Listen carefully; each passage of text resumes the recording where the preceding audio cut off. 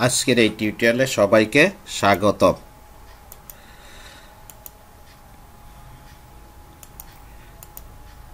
এখানে কিছু টাকা এবং কিছু হাত একত্রিত মিলিত হয়ে- হয়েছে। এই ছবি থেকে আমরা অনুভব করতে পারি যে আজকের টিউটোরিয়ালে আমরা কী নিয়ে আলোচনা করব।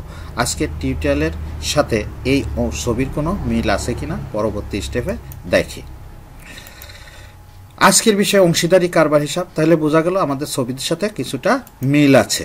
তাহলে অংশীদারি কারবার হিসাবে অঙ্ক কয়েক প্রকার হয়ে থাকে। তার মধ্য থেকে এখানে আমরা যে অঙ্কটা শিখব, তার নাম হলো রিটার্নমেন্ট রিটার্নমেন্ট অর্থ হলো যারা ব্যবসা পরিচালনা করতেন, তাদের ভিতর থেকে যে কোনো একজন বা একের অধিক ব্যবসা ছেড়ে চলে গেলে সেটাকে আমরা রিটার্নমেন্ট বলে থাকি।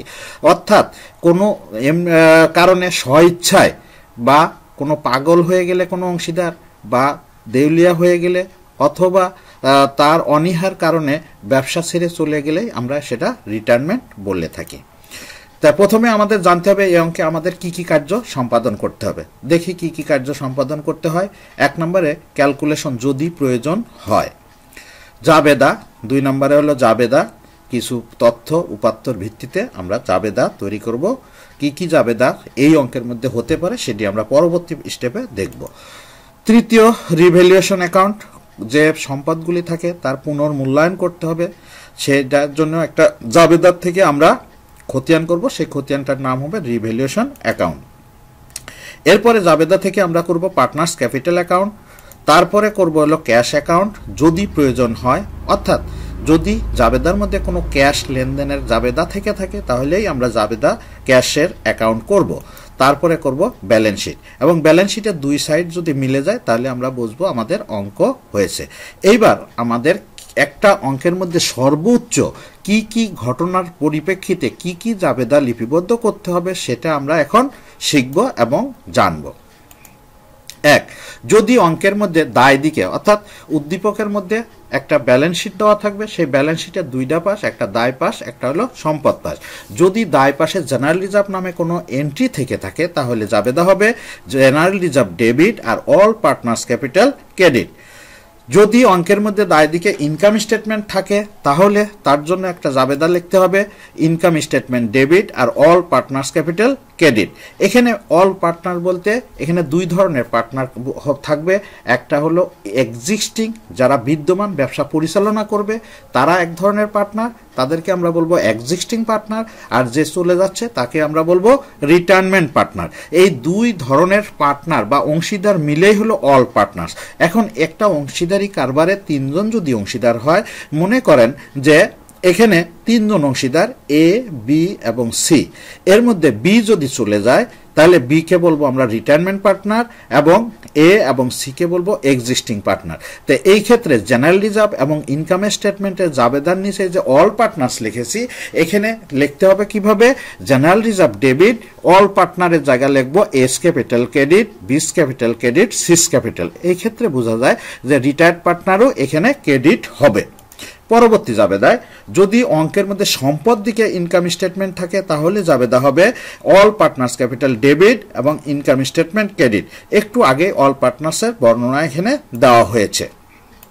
এর পরবর্তী জাবেদা, যদি গুডউইলকে অঙ্কের মধ্যে পুনর্মূল্যায়ন করতে বলে, তাহলে একটা জাবেদা লিখতে হবে। সেই ক্ষেত্রে জাবেদা হবে গুডউইল অ্যাকাউন্ট ডেবিট আর অল পার্টনার্স ক্যাপিটাল ক্রেডিট যদি গুডউইলকে অ্যাডজাস্টমেন্ট করতে বলে, তাহলে জাবেদা হবে এই রিমেনিং পার্টনার বা এক্সিস্টিং পার্টনার্স ক্যাপিটাল ডেবিট আর retiring retiring capital, partners capital credit. অর্থাৎ যে চলে যাচ্ছে তার ক্যাপিটাল হবে ক্রেডিট আর যারা থাকতেছে তার ক্যাপিটাল হবে ডেবিট। এখানে ভাগ করে দিতে হবে হলো গেনিং রেশিও অর্থাৎ যে যতটুকু গেন করবে একজন অংশীদার চলে গেলে যে অবশিষ্ট অংশীদাররা যতটুকু গেন করবে, যে যত অংশ গেন করবে, তত অংশ অনুসারে এই অংশ ক্যাপিটালটা ভাগ হবে। যদি সম্পদের মূল্য বৃদ্ধি পায়, তাহলে জাবেদা হবে। পার্টিকুলার অ্যাসেট অর্থাৎ যে সম্পদের মূল্য বৃদ্ধি করার কথা বলা হয়েছে, সেই সম্পদকে ডেবিট করব এবং রিভ্যালুয়েশন অ্যাকাউন্ট ক্রেডিট করব। কতটুকু, যতটুকু সে বৃদ্ধি পেয়েছে, যে কোনো অ্যাসেট যেমন ল্যান্ড ল্যান্ড ব্যালেন্স শিটে দেওয়া আছে বিশ হাজার টাকা সমন্বয়ে বলা আছে, এখানে ল্যান্ডের বর্তমান মূল্য পঁচিশ হাজার টাকা। তাহলে পার্টিকুলার অ্যাসেটটা হলো কি? ল্যান্ড তাহলে এখানে লিখব ল্যান্ড অ্যাকাউন্ট ডেবিট এবং রিভ্যালুয়েশন ক্রেডিট টাকা হবে পাঁচ হাজার। যদি সম্পদের মূল্য হ্রাস পায়, তাহলে জাবেদা লিখতে হবে রিভ্যালুয়েশন অ্যাকাউন্ট ডেবিট আর ওই সম্পদ বা পার্টিকুলার অ্যাসেট ক্রেডিট। ঠিক এখানে আগের মতোই যতটুকুই হ্রাস পাবে, ততটুকুই এখানে আমরা লিখব। এর পরবর্তী জাবেদা, যদি কোনো দায় বৃদ্ধি দায় বৃদ্ধি পায়, তাহলে জাবেদা লিখতে হবে কি? রিভ্যালুয়েশন অ্যাকাউন্ট আর পার্টিকুলার লাইবিলিটি ক্রেডিট এখানে একটা কথা স্মরণ রাখতে হবে, জাবেদা মনে রাখার মূল সূত্র মনে রাখতে হবে, সম্পদ যাতে ডেবিট অর্থাৎ যত প্রকার সম্পদ সবই হলো ডেবিট যদি বৃদ্ধি পায় ডেবিট হবে হ্রাস পাইলে ক্রেডিট হবে। আর লাইবিলিটি যাতে ক্রেডিট বৃদ্ধি পাইলে ক্রেডিট হয় এবং হ্রাস পাইলে ডেবিট হয়।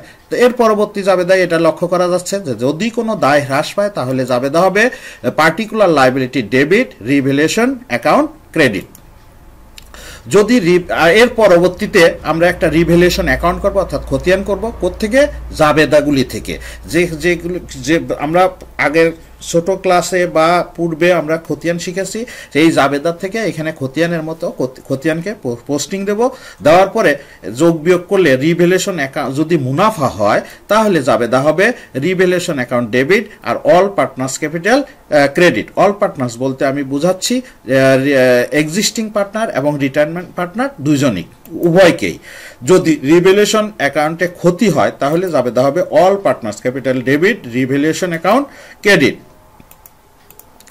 যদি কোনো অংশীদার নগদ টাকা উত্তোলন করে, অর্থাৎ ব্যবসা থেকে নগদ টাকা নিয়ে যায়, তাহলে জাবেদা হবে পার্টিকুলার পার্টনার্স ক্যাপিটাল ডেবিট আর ক্যাশ ক্রেডিট যদি কোনো অংশীদার নগদ টাকা ব্যবসা আনে, তাহলে জাবেদা হবে ক্যাশ ডেবিট আর পার্টিকুলার পার্টনার্স ক্যাপিটাল ক্রেডিট যদি অবসর গ্রহণকারী অংশীদারের টাকা ঋণ হিসাবে রেখে দেওয়া হয়, তাহলে জাবেদা হবে পার্টিকুলার পার্টনার্স ক্যাপিটাল ডেবিট অর্থাৎ যে পার্টনার চলে যাচ্ছে তাকে আমরা বলি পার্টিকুলার পার্টনার বা retirement partner particular partners capital debit আর লোন অ্যাকাউন্ট ক্রেডিট তবে এখানে উল্লেখ থাকে যে, যদি অঙ্কের মধ্যে ঋণ হিসাবে রেখে দিতে বলা হয়, তাহলে জাবেদা এটা দিতে হবে।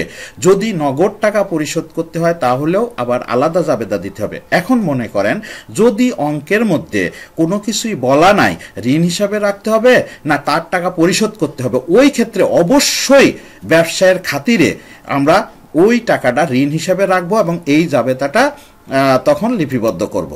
যদি অবসর গ্রহণকারী অংশীদারের টাকা নগদে পরিশোধ করতে হয় তাহলে জাবেদা হবে ওই পার্টিকুলার পার্টনার্স ক্যাপিটাল ডেবিট আর ক্যাশ ক্রেডিট এই ছিল আমাদের জাবেদাগুলি, এই জাবেদাগুলি হলেই আমরা অঙ্কগুলো সমাধান করতে পারব।